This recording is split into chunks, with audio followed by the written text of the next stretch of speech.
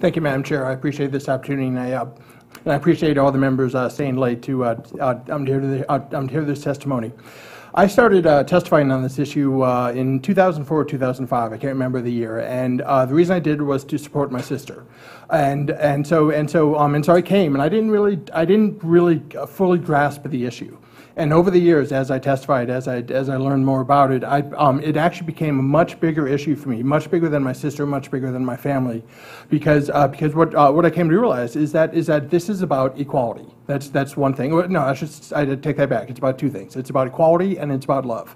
And, and, uh, um, and essentially, people, uh, people who maybe uh, um, who may be of the same gender should have the same rights uh, uh, as, um, as a straight couple to get married. I'm a straight person. I have the right to get married. My sister does not. Why, why is that? Right, right here, you are looking at a case of discrimination between the two of us. I don't, I just don't understand why that happens.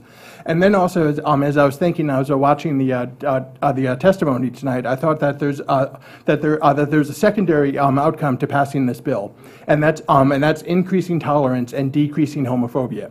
This, this bill will, will slowly move the, move the needle, which is, which is a popular statement, I guess, to say today, so, towards, towards tolerance, so that, so that, uh, so that, uh, uh, so that we can have a better understanding and better acceptance of people, and uh, which, which will, uh, which will therefore decrease homophobia. And actually, um, and actually, I just want to give you an example of, uh, um, of homophobia. I actually personally experienced about 20 minutes ago, standing outside in that hallway. I was, um, I was talking with someone. I got into it, which I realized was not, was not the thing to do. It, it was not really productive, but, but I, but I, but I couldn't help myself. And finally, this guy just went, "Oh, you and your boyfriend." And uh, he's, so uh, what he was doing, he was just assuming that I'm gay because, uh, because I'm here testifying in favor of this bill. That's, that's, a, that's a stereotype, that's, uh, that's discrimination right there.